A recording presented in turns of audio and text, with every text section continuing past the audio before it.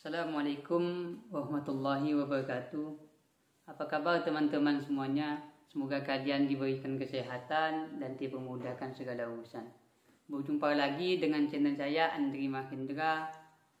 Pada kesempatan kali ini saya akan melakukan gym rumahan seperti biasanya teman-teman. Namun pada kesempatan kali ini saya akan melakukan gym dengan dibantu alat baru saya teman-teman